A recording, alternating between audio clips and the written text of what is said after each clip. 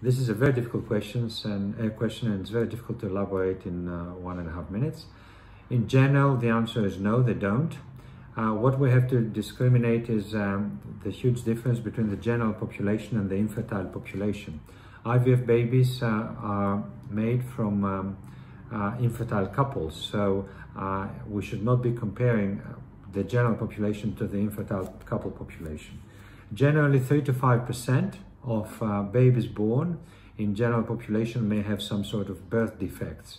Uh, there are some reports uh, that uh, maybe IVF or ICSI is increasing the chance of birth defects, but at the moment there's no particular consensus, although there's probably a feeling that overall this 3 to 5% background risk may be increased by 1% more. Having said that, we have to bear in mind that infertile couples are invariably older couples, or couples with uh, some sort of history that may affect uh, the health of the children. And these are couples who wouldn't otherwise uh, become parents without uh, the help of IVF. So there's a lot of investigations going on at the moment. There's a lot of experience gained from all those years of IVF.